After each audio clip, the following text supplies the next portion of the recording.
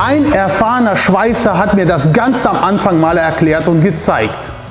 Das will ich euch nicht vorenthalten. Nutze ich seit Jahren, musst du für dich ausprobieren.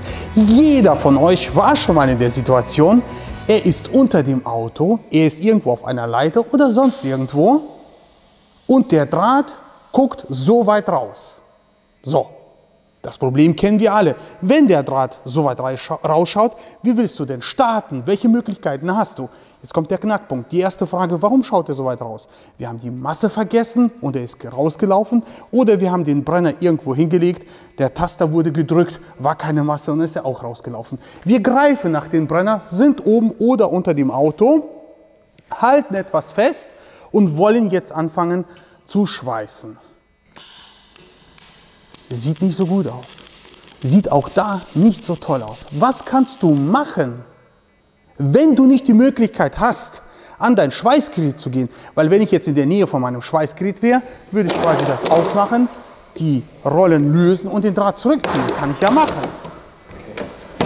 Das wäre natürlich schön, wenn ich in der Nähe wäre oder wenn meine Hände frei wären. Aber manchmal bist du gerade am Bauen und du hältst etwas fest und da muss jetzt der Punkt sitzen und du kannst dich aus der Situation nicht lösen. Du kannst noch nicht mal diese Hand lösen. So. Und die Schweißzange ist auch nicht gerade in deiner Tasche. Die Schweißzange hast du hinten bei dem Kaffeeautomaten gelassen, weil du dir vorhin einen Kaffee geholt hast. Welche Optionen hast du? Du kannst jetzt natürlich zünden und den Brenner nach vorne schieben, bis du irgendwann da die Länge hast, die du brauchst. Aber dann hast du halt dieses hässliche Gewirr. So. Und jetzt kommt der Tipp von dem erfahrenen Hasen. Ist nämlich ganz easy. Du gehst hin und knickst den Draht um. Ja, ist jetzt hier viel zu lang. Jetzt ist er nicht lang. Klar guckt er hier komisch raus, aber das tut dem Prozess gar nichts, denn du hast hier einen neuen Start, einen neuen sauberen Start. Kannst du hingehen und dann das Ganze weiter schweißen. Und das, was da abspringt, dieses kleine Stück, das kannst du mit zwei Fingern einfach lösen.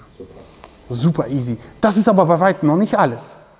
Wie gesagt, das ist natürlich eine Lösung, wenn du keinen Seitenschneider, nichts zum Abschneiden in deiner Nähe hast. Du kannst aber auch solche Dinge tun, wie das Ganze, wenn du keine Hand frei hast, am Bauteil, am Auto, am Boden irgendwie einfach umknicken, dass du sauber starten kannst. Du kannst natürlich auch hingehen, das habe ich auch schon gemacht, wenn das Bauteil oder die Situation es hergibt, kannst du natürlich auch hingehen und irgendwo wo man das jetzt nicht sofort sehen kann, einfach mal kurz zünden. Ja, aber das heißt, der Draht ist irgendwo schon drin, dann zündest du, dann pitcht der auch an der Stelle ab und dann kannst du dann weiter schweißen. Natürlich, wenn wir die Zange oder das Schweißgerät nicht in der Nähe haben.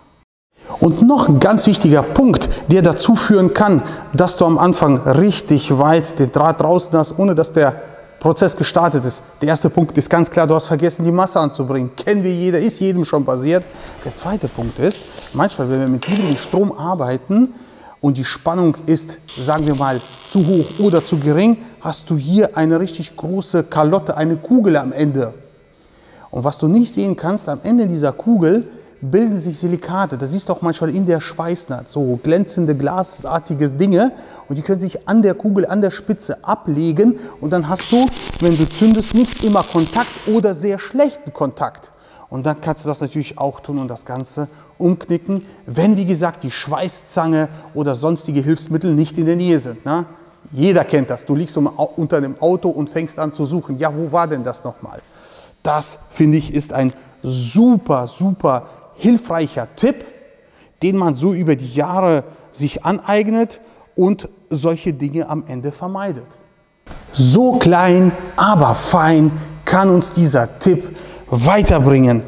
Hast du das schon mal angewendet oder machst du es ganz anders? Schreib mir bitte einen Kommentar, ich würde mich drüber freuen und antworte dir auch darauf, mein Lieber. Ich wünsche euch was bis dahin. Ciao.